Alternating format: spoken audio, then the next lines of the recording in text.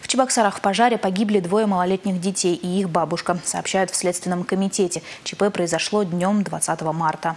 Кирпичном жилом доме по улице Вторая путепроводная в Чебоксарах произошло возгорание. Внутри постройки в это время находились двое детей 2016 и 2018 годов рождения, а также их бабушка 1970 года рождения. Спасти пострадавших не удалось.